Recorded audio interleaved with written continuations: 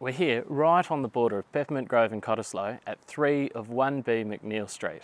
One of the best things about this ground floor apartment is this huge 125 square metre courtyard.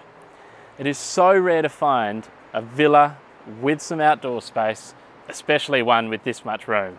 It's got two good sized bedrooms, a bathroom and kitchen, open plan living, and all in a very well looked after, low maintenance strata complex. And of course, we're right down the road from the Cottesloe Village and Napoleon Street, over the hill to the Cottesloe Beach, or even just down to Claremont Quarter.